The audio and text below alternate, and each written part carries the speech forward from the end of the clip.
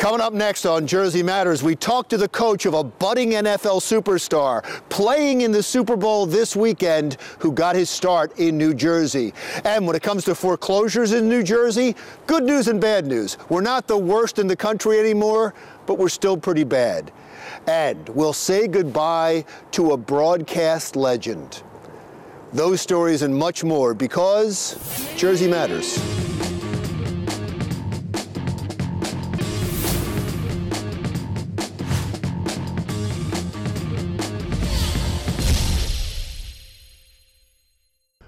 Welcome to Jersey Matters. I'm Larry Mendte. We begin the show this week from the football field here at Monmouth University because it's on this field that a star was born. Chris Hogan is now a wide receiver for the New England Patriots.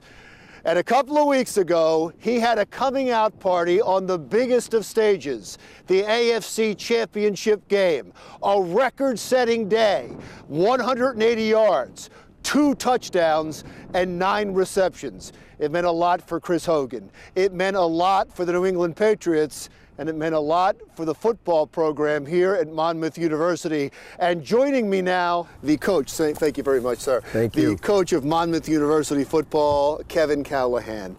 Uh, Chris Hogan makes this appearance on the national stage that everybody seemed to be stunned by. I have a feeling you weren't as stunned.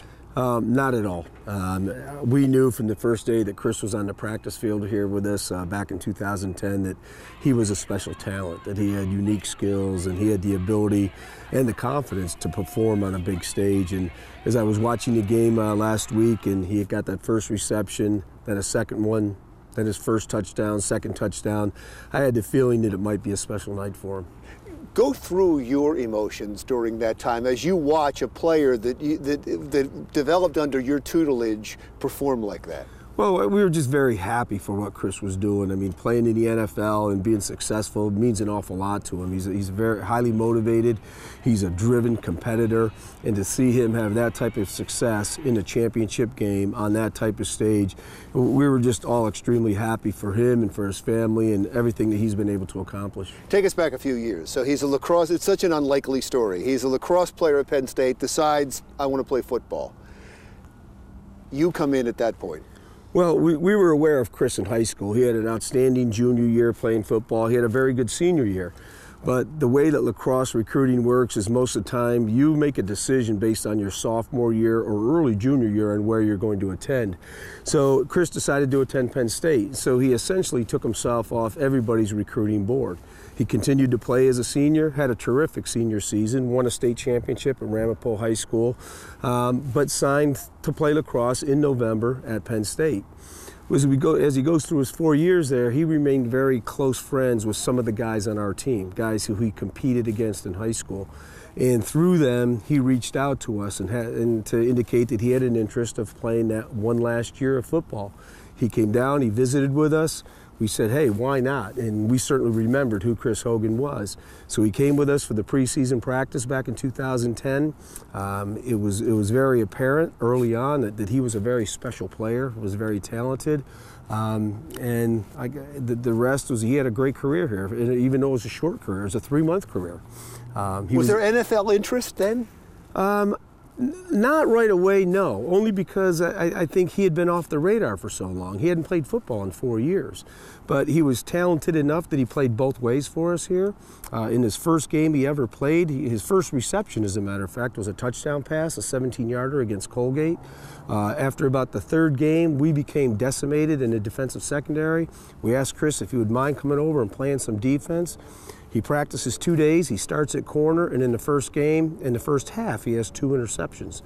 Uh, and then, so from that point on, he played about 70 plays a game on defense, probably 15 to 25 plays on offense, um, and just had a great season for us. What does this Chris Hogan story mean to Monmouth football? Well, I, I think it demonstrates that it's yet another quality, high-level player that's come through our program. It all started back in 2006 with a guy named Miles Austin, who oh, sure. also happened to be from Bergen County and went on to play for just about 10 years with the Dallas Cowboys. We've had a number of players since then John Nalbone, Jose Gumbs. Chris Hogan, Neal Sterling, Hakeem Valles, but it shows that you know quality football is being played here at Monmouth University, and, and our, we do have guys with the ability to play on Sunday. And you've been part of it from the very beginning. Uh, Yes. you, you came in, you're the only football coach that this university knows. Will you be here the rest of your career? I would hope so. You want it to be that way. Absolutely. you're not looking to go anywhere No, else. Monmouth is a very special place. It's, it's extremely supportive of, of all the athletic programs and certainly wants to be successful in football. You can see behind us here the construction of a new stadium that's going up, which will be uh, will open up this new stadium at our, at our home opener in 2017 here on September 2nd. Uh, there's a lot of exciting things going on here, and uh, um, I'm very very happy to be here. Now the kids, when they when they see somebody like Chris Hogan doing so well on a big stage, does that inspire them? Sure. I mean, I, I think as a, as a college football player on any level, they all have aspirations. They all have the belief that they're going to play on Sundays. And when they see somebody that's come through the program that they're in, who is actually playing on Sundays, who's having a tremendous amount of success on Sundays, I think that inspires them, it motivates them, it, it lets them know that they made the right decision and, they're, and that they're at the right place. Will you use that during some of your talks? We absolutely will. Uh, we point to the uh, all of our football alumni, and, and certainly the guys that are playing in the NFL, but but guys who are doing other things too, lawyers, doctors, whatever they may be. We use our alumni heavily in recruiting, but the, uh, playing in the NFL has a has a little bit more umph to it sometimes than, than maybe working on Wall Street. This is going to be all ready for the new season. That'll be all ready. Yes, it will. A- And how do you look for this season? Uh, I think we look pretty good. Uh, we've been in the Big South now three years, and I think we're making steady progress in that conference. And uh, I'm really excited to see what we can do this year. So you'll be watching the Super Bowl. I will Are you a be watching the Patriots fan now? I am now. I'm a fan of wherever our players are playing. Wonderful. Thank you very much, sir. Thank I appreciate you right. spending the time. Kevin Callahan, the legendary, the only coach from Monmouth, Monmouth University football. It's easy to be a legend with the only guy. Thanks a lot. Thank you. We're coming right back after this.